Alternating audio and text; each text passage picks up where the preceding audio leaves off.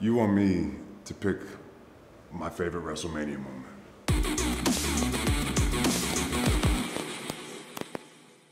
It's pretty much impossible. How can I? I have so many of them. You know what I mean?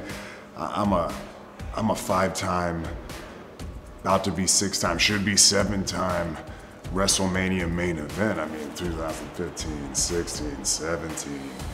18, could have been 19 if real life didn't happen. 20, well, that was my choice. 21, actually, matter of fact, I think 2021, Raymond James Stadium. I smashed them, I stacked them, I pinned them. I created the most definitive WrestleMania main event finish of all time. So yeah, 2021 when I beat Daniel Bryan and Edge, like it was nothing.